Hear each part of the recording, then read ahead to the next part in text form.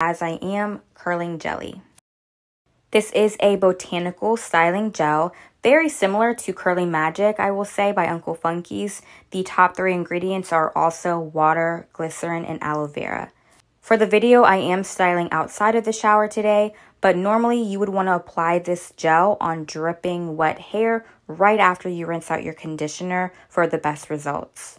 You can smooth the styling jelly into your hair strands and either smooth, shingle, or rake until you get your desired end result.